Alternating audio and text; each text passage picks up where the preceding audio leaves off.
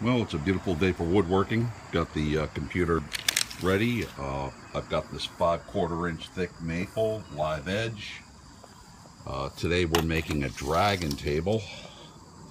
This table's 38 inches in length and it goes from uh, about almost 14 and a half to about 13 and a half. If you want to see how I made it, stick around.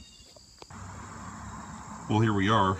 Uh, got the centers done.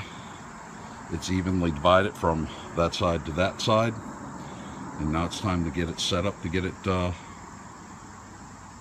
carved out. Okay, so we're all set to do the first dragon.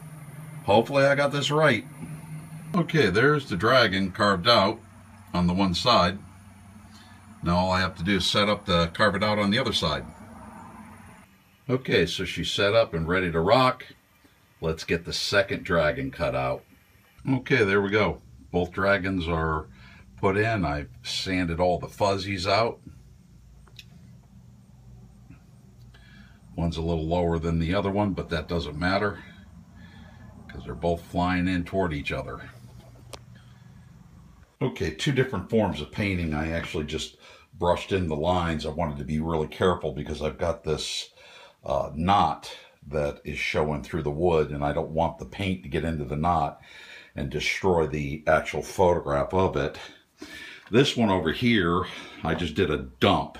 I dumped the paint on and then I swiped it into the uh, lines and then wiped all the excess paint off. So now all it is, is wait for it to dry and I can sand it and then varnish it, uh, uh, super glaze it, put legs on it, and it'll be a good table. All right, the paint's dried.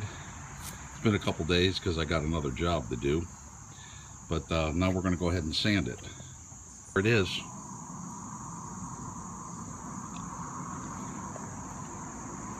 I actually had more success dumping the paint on this one because it's a little bit darker than this one.